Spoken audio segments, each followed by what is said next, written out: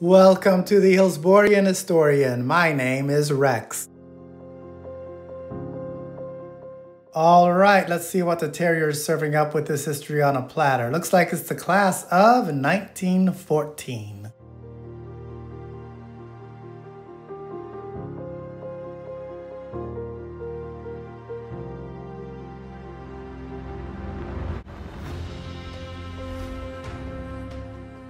This yearbook is dedicated to Principal Robinson. Two other teachers are mentioned. One is an English teacher named Miss Johnny Rutland, and another is a science teacher named Frank Wetzel. We will also see in the newspapers a recurring motif that the high school is crowded and students are hoping for a new building.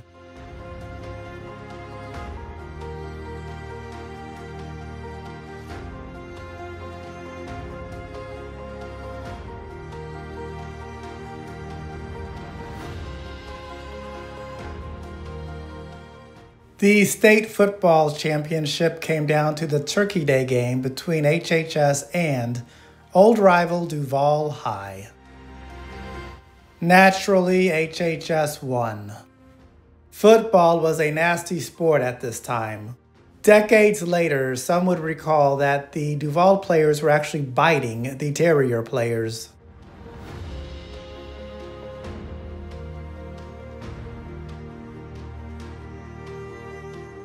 One of the speakers at HHS was Charles Cottingham, a civil engineer who spoke about the Panama Canal. The Panama Canal would open in August 1914. In January, students were excited to learn about the first scheduled airline in the world.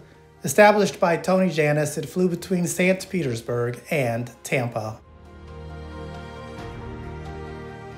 The basketball team won the city championship and would go on to defeat Duval High for the state championship.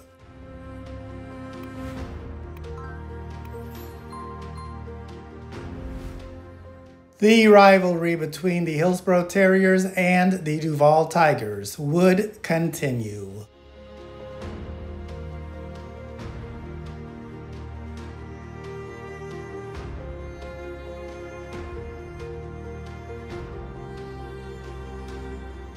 The school board this year also purchased uniforms for the baseball team from Knight and Wall.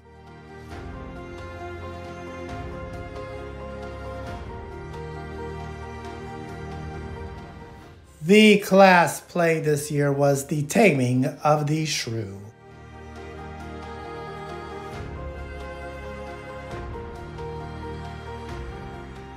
Ed, the original school merchant, was as popular as ever, and when asked who invented the gasoline engine, he replied, Gasparilla.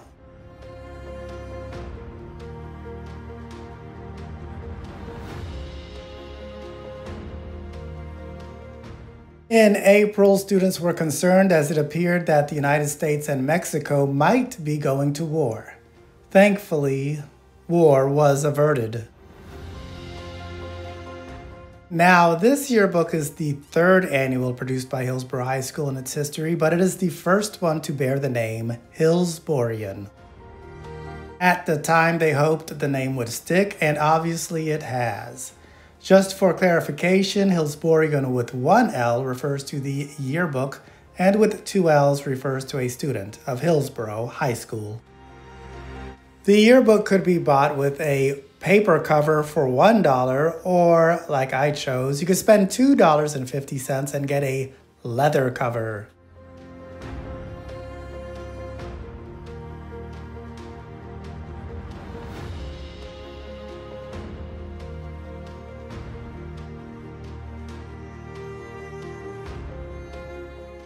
In May, it was time for the class of 1914 to bid goodbye to HHS. This was the largest class to have ever graduated from any of the state high schools in Florida history.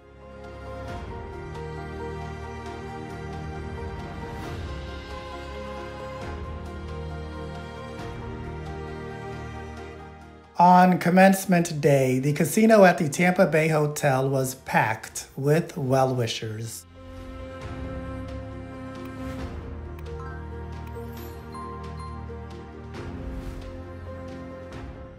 Governor Park Trammell even showed up to give the commencement address. All right, my friends, thanks for watching, and please subscribe to my YouTube channel to keep up with all my HHS videos. Go Big Red.